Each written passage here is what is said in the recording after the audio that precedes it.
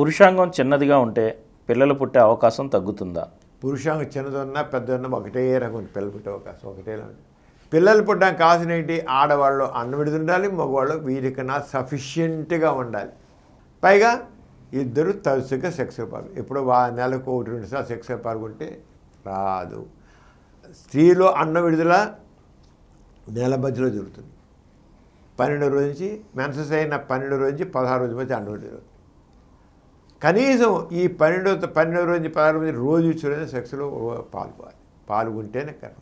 అలా కాదు ఎప్పుడో నెల మొదట్లోనో చివరిలోనో ఎప్పుడో రెండు సార్లు మూడు సార్లు నాలుగు పాల్గొంటే గర్భం రాదు.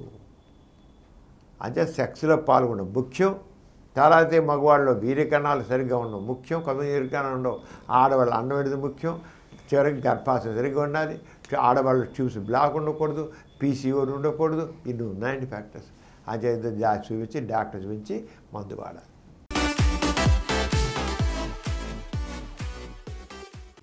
ఈ కార్యక్రమం మీకు ఎంతో నచ్చింది కదా?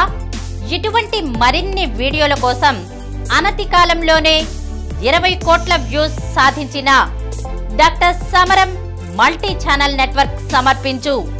సమరం మీకోసం ఛానల్కు సబ్స్క్రైబ్ చేయండి లైక్ చేయండి మీ ఫ్రెండ్స్కి షేర్ చేయండి. అలాగే ప్రక్కనున్న గంట సింబల్ని ప్రెస్ చేయడం మర్చిపోకండి.